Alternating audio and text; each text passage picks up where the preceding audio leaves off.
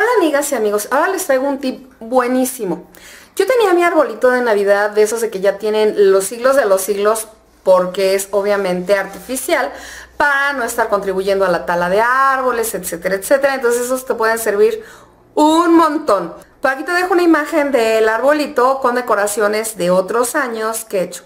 Bueno, ese arbolito obviamente te digo ya tiene, yo creo que casi una década, pero obviamente como siempre lo cuidamos muy bien, terminando lo sacudimos, lo guardamos en su cajita.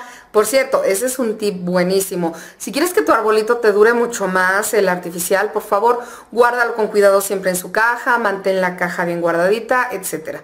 Bueno, pero la verdad este año el arbolito ya me había hartado en ese tono verde. Había estado viendo que ahorita están muy de moda. Bueno, me enamoré de uno dorado, pero ese sí estaba imposible, imposible. Entonces dije, ¿de qué manera puedo revivir mi arbolito? Y entonces lo que hice fue agarrar pintura en spray plateada y empecé a briciar todo el árbol. Y miren, este es el resultado. Así es como quedó el arbolito. La verdad, espero que se esté notando a cuadro lo bien que quedó. Esos brizos plateados hicieron que el arbolito quedara precioso. Le dio totalmente otra vista y no gasté más que en precisamente la pintura en aerosol y que fue una sola lata.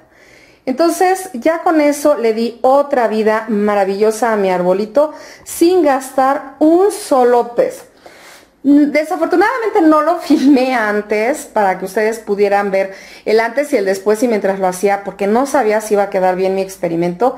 Pero ahora que ya vi que la verdad quedó precioso, no quería dejar pasar la oportunidad de enseñárselos para que también, si tú estás renovando tu árbol, ya sea para esta Navidad o para las futuras, y tu arbolito ya te parece un poco soso, Recuerda, simplemente con pintura en aerosol, ya sea dorada, plateada, etcétera, le puedes dar un cambio maravilloso a tu arbolito. Si tu arbolito es blanco, le puedes dar otros colores. Si es verde, le puedes meter plateado, dorado, brizos de otros colores, etcétera. El límite es tu imaginación.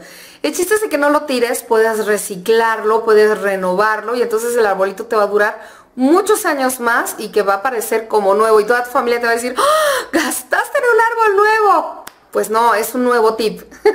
Les mando un enorme beso, que tengan una excelente Navidad. Los quiero mucho, mucho, mucho, mucho. Pásensela muy rico y me encantará ver tus arbolitos navideños. Te espero en nuestra página de Facebook, se llama igual que nuestro canal. Cada una manualidades para que veamos qué preciosuras hiciste. Mm, les mando un beso. Bye.